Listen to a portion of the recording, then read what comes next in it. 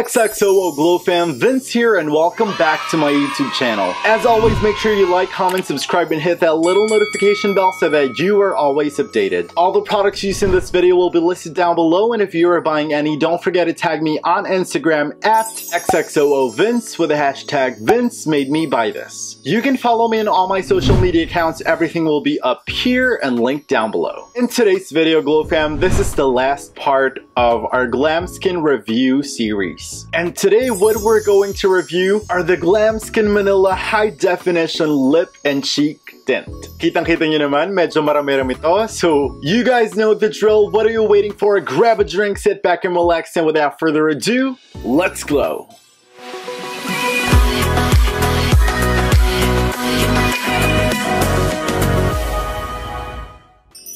Now let's dive in Glow fam. Before I even started the video, I already did my base off camera and for base I used the Glamskin Manila Tinted Sunscreen. I also topped it off with a medium coverage foundation. To set the face, I used the Glamskin Manila Just Blend Mineral Loose Powder in the shade Natural Beige. And for my contour, I used the deepest shade which is 10. For my highlight today, I used the Glamskin Manila That Glow Liquid Highlighter in the shade Luminous. For my lips today, I used three different shades of the Luxus Soft Matte Lip and Cheek Cream. So I used the shade Doha, Paris, and Rome. And just to make sure that everything is locked and loaded, I did some spritz of the Glamskin Manila Witch Hazel Facial Mist. And again, shout out to Glamskin Manila. I'm wearing the Glamskin Manila shirt. Thank you so much Glamskin Manila for sending all of these amazing products. Now Glow fam, let's get started with a review. To kick off, these are called the Glamskin Manila High Definition Lip and Cheek Tint. Each component contains 10 ml worth of products and it's good for 12 months from the open date. According to the website, this is FDA approved, long lasting, it's very pigmented, no bitter taste, with doe foot applicator, safe and made with natural ingredients. So the Glamskin Manila High Definition Lip and Cheek Tint were formulated and manufactured here in the Philippines. These are paraben free and cruelty free. This product originally retails for 115 pesos each, but as of right now they are on sale and you can get yours for as low as 57 pesos. Yes, 57 pesos lang isa. There are two platforms as of the moment wherein you can get a hold of these products. First, you can visit www.glamskinmanila.com. Yes, on that website, they are also on sale. You can get these for 57 pesos. If you're buying any other products on regular price, you can use code VINCE for 40% off upon checkout. This code is applicable for regular price cosmetic products with a minimum spend of 200 pesos and this code is only good until the end of March 2020. You can also check out these products through Shopee and make sure that you follow their Shopee account so that you can also check out other amazing products from Glamskin Manila. Now Glow fam, um, let's talk about the packaging. Actually, when I got these products, wala talaga siyang unicarton. Again, like what I mentioned on my previous video, I don't mind a product without a unicarton kasi for me, parang waste lang yun, itatapon ko lang din naman. So, to be honest, hindi ko kailangan ng unicarton for this product. But again, same as the lip creams that they have, these products were airtight sealed with plastic. So dahil sabi nga lip and cheek tint, definitely is a swatch natin to sa lips natin. Pero para mapatunayan natin yung cheek tint, gagawa rin tayo ng mga hand swatches as we go forward. So dahil madami-dami nga siya, what I'll do first is I'll show you all the swatches, lahat ng shades, ano ba yung description ng shades. I'll also show you how it looks like sa lips, and then I'll save everything for my final thoughts. So dahil nga we have 10 shades Glow Fam, hiniwalay-hiwalay ko siya. Ang ginawa ko, uunahin natin yung tatlong pink or red tones. Isusunod natin yung may mga orange na undertone. And huli natin isa-swatch yung mga, mga deep undertones. Now Glow Fam, before we even start the first shade, let's look at the component. So here in front, you will see the name of the product, Lambskin Manila High Definition Lip and Cheek Tint. You will find the shade right here. If you turn it, you will see a list of ingredients. You will see it was manufactured for Glamskin Manila. Expiration date, net weight ng product. It's nice, it's complete. Let's look at the doe foot applicator. Okay, it's the standard doe foot applicator, so maganda siya. I also want to mention Glow Fam na gel-based etong lip and cheek tint na to. Mahilig ako mag-lip tint. Pero normally, pag nag apply ako ng lip tint, sobrang nagda-dry talaga yung lips ko. Hindi ko alam kung bakit. Nagda-dry talaga siya pag natuyo na yung lip tint. But actually, first time ko ma-experience na nakapag-try ako ng lip tint na hindi nagda-dry yung lips ko. Literal na parang moist and supple and ang lambot lang. And yung flavor nito is napakasarap. Parang ang tamis na parang candy, na berry. Hindi ko alam, para siyang burst of different flavors. Ngayon, amoy natin siya. Siya. So now let's start with the shade Innocent. Unlock your innocent look with this romantic pinkish red blush. Let's do a hand swatch. This is Innocent on a hand swatch. And now let's try it on the lips. And now this is Innocent on the lips. By the way, Glow Fam, hindi ko na ginawang full-on lip kasi wala naman talagang naglalagay ng lip tint na full-on lip. Alam mo yon So, ganito lang tayo maglagay ng lip tint. Very light lang, sa baba lang, tapos dinadab lang natin or binabite lang natin yung lips natin. By the way pala, Glow Fam, on every swatch, tinatanggal ko ng makeup remover yung lip tint and nilalagyan ko siya ng foundation over it kasi ayoko talaga mag-influence yung bawat shade sa isa't isa. Let's move on to the next shade. The next shade that we will try is the shade Radiant. It's a raspberry pink for its universal flattering radiant glow. Now let's do a hand swatch of the shade Radiant. And now let's try it on the lips.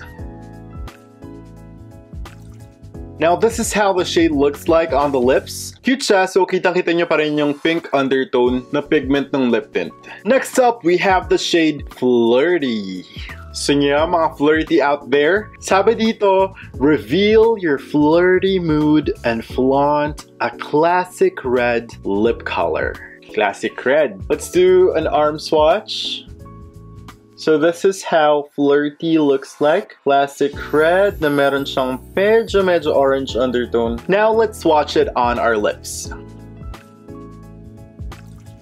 This is how flirty looks like on the lips. Okay na siya, maganda na siya, pang ombre effect, yung mga gradient look. For me, flirty ang ganda niya. Now we are done with the shades na merong red undertone tsaka mga pinkish undertone. Let's move on to the shades na merong orange and red undertones. To start with, we have the shade Charming. Punchy orange tone give way to a charming aura. Wow! Let's do a hand swatch of Charming Okay. So ito, mas malala yung orange undertone nito compared to the first one. Ito. Alam mo, ito yung mga favorite ng mga mahilig mag-aesthetic na looks. Yung mga orange undertone, yun talaga yung mga bet nila. Now, let's try it on the lips. This is how charming looks like on the lips. Ang cute niya. And definitely nandun yung orange undertone niya. Sobrang sarap ng mga lip tint. Gusto ko silang dila-dilaan. Next, the next shade that we have is called Fabulous. Sabi dito, citrus tone perfect for your fabulous summer getaway. Ah, pasok na pasok to sa summer. Let's do an arm swatch. Okay, this is how Fabulous looks like. Hindi ko alam kung kakalagay ko lang ba, pero I think mas deep itong Charming compared dun sa Fabulous. Yung Fabulous medyo bright orange siya. Now let's try it on the lips.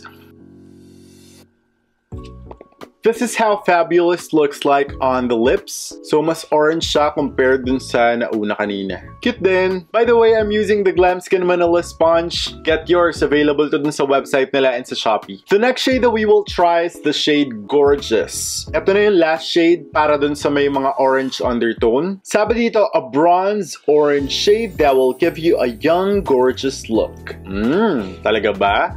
Lakas ba ito maka-gorgeous? Tingnan natin. Okay. Alam mo, parang bet ko tong shade na to. Yung pagka-deep nung dating ng orange niya, parang ganda niya. Ah. My God, nakalimutan natin i-hand swatch yung Gorgeous. So, tingnan natin siya. I-hand swatch natin ngayon before we move on to the next shade. Ayan. Oo nga, ang ganda nga niya. Gusto ko siya.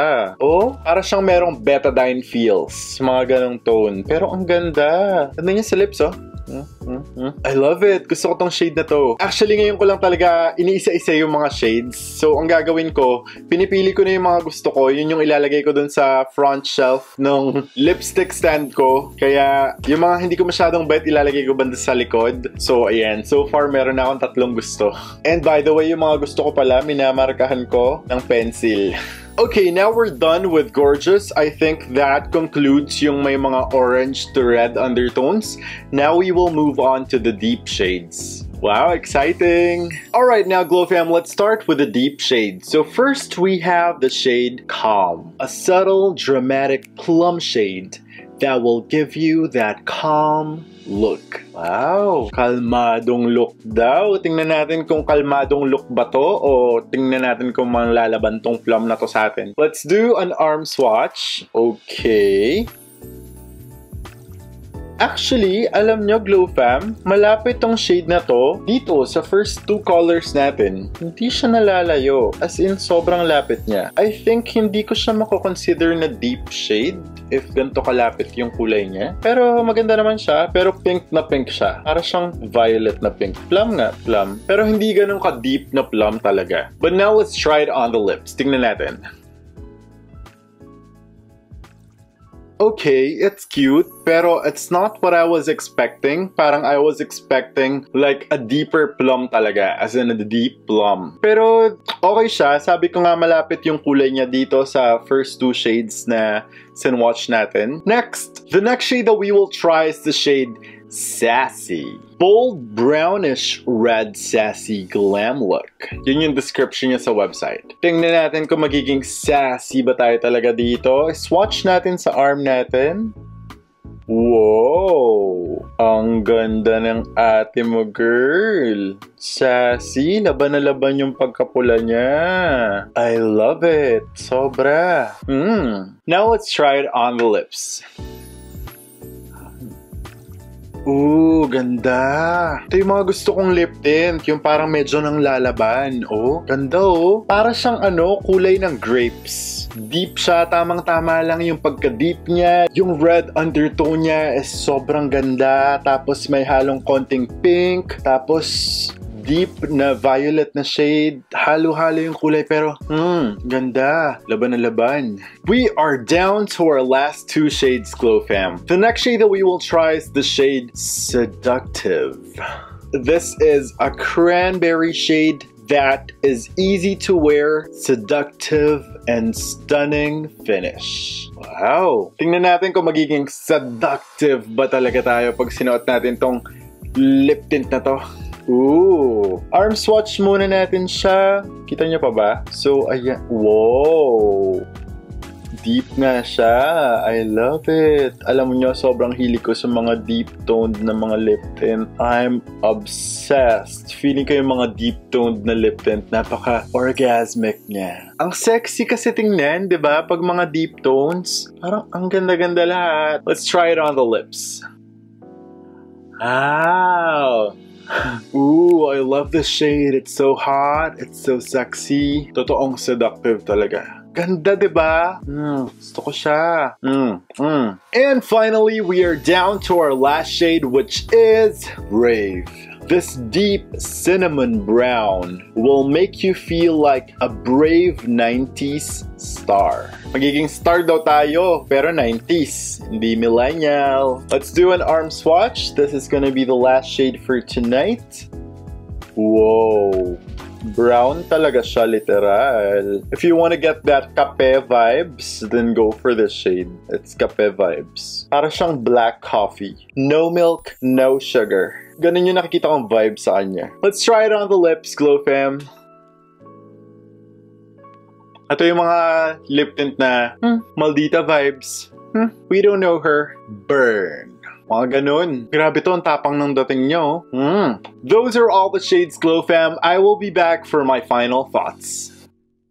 So now let's start with my final thoughts. First, what I'm wearing on my lips right now is a mixture of flirty and seductive. Sorry ko medyo deep na yung itsura ng flirty dito kasi naghalo-halo na yung lip tint. Sa lips ko ngayon, let's do a quick recap. Worth it ba yung Glam Skin Manila High Definition Lip and Cheek Tint? Una sa lahat, I think it's cute, it's very handy, travel friendly siya, pwede nyo siyang ilagay sa bag. Sa pocket nyo, anywhere you want, you can do a touch-up whenever you want. Sobrang ganda niya. What about the quality of the product? Gel tint siya, it's moisturizing sa lips, so hindi siya nakaka-dry ng lips. Siguro kung liquid tint yung ginamit ko ngayon, sobrang dumudugo na yung lips ko. Kasi sobrang dami nga. Pero ito, nakaka-moisturize pa rin siya ng lips, so my lips doesn't feel dry at all. Let's talk about the quality niya. Here are my hand swatches. Kita nyo na nag-leave talaga siya ng tint. Hindi mawawala yung tint. Medyo nagsasmudge kasi na parami or makapal yung lagay ko, pero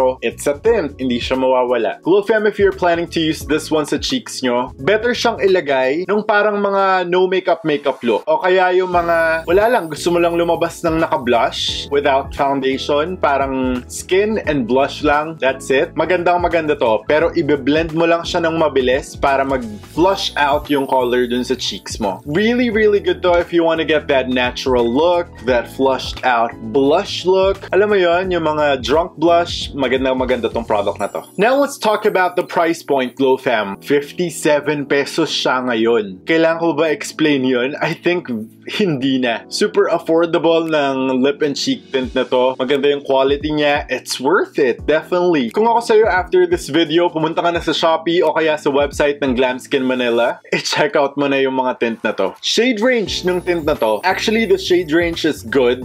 Una sa lahat, ang dami ng shades. 10 freaking shades 'di ba? And kita-kita niyo naman na merong mga magagandang color para sa mga mapuputi, yung mga light tone na yan, yung medyo paniyo na na color. Marami rin colors na pwede sa mga dark skin tone, itong mga deep shades na to. Pwede rin tong merong konting reddish na orange undertone. Magaganda yan sa mga deep skin tones. And yun nga, na breakdown ko siya into three types. So, pwede ko nang masama to. I think ito, this one, this one, and this one, siya yung may mga pink pink na undertone. Mas overpowering yung, yung pink undertones niya. These four, ayan, yung mga orange undertones natin na may little mix of red dito sa may first two shades. And ito sa ilalim, yung mga deep natin, deep tones natin na sobrang sexy lang talaga. So what are my favorite shades dito sa sampung to? Ang dami diba? Ang hirap pumili. My first favorite shade is the shade Flirty. And ito yon this one. Siya yung pangatlong shade na tinry ko. Sobrang ganda niya. Yung yung parang, yung pagka parang sobrang fresh na pula lang yung lips mo, ito yun. The next shade that I like is the shade Charming. Ito siya. So medyo leaning na to dun sa orange undertone. Ayan, ang ganda lang niya. Parang yun nga, aesthetic na vibe. Ito yun. Ito yung shade na patok na patok para dun. The next shade that I like, medyo na-weirdohan ako na nagustuhan ko tong shade na to. It's the shade Gorgeous. Ito yun, yung parang brownish shade. Betadine feels na brown brown, ayan. Pero kahit na ganito yung kulay niya sa, sa skin, ang ganda niya sa lips. Gustong gusto ko siya. Perfect siya sa mga mid-tone moreno. Parang it's not that deep, hindi rin naman siya sobrang bright. So perfect lang siya, nasa middle lang siya nagpa-play. Ang ganda. The next shade that I like is of course, itong pulang shade na to, para siyang deep rose na shade. This is the shade Sassy. Ayan, sobrang ganda lang nitong deep rose na shade na to. Perfect to pang mga ombre effect. Ayan, kung gusto niyo ng ombre effect, ilalagay mo lang siya sa gitna, you're good to go. And of course, the last shade that I like is the shade Seductive. Ito yon yung seductive. Para siyang red wine yung itsura niya sa sobrang deep niya. Ayan, ang ganda. Alam niyo, nasa-sexihan lang talaga ako sa mga deep tones, so perfecto for me. That's it for today's video, guys. Let me know your thoughts. What's your favorite shade? Ano yung mga nagustuhan nyo? Ano yung mga ayaw nyo? If you want to grab these products, you can visit www.glamskinmanila.com and use code VINCE for 40% off upon checkout on regular priced cosmetics cosmetic products with a minimum spend of 200 pesos. This code is only valid until the end of March 2020, so make sure to grab yours now. Or you also have the option to go to the Shopee app and check out the Glam Skin Manila store. I love you guys so much. XXOO Glow Fam, and I'll see you on the next one.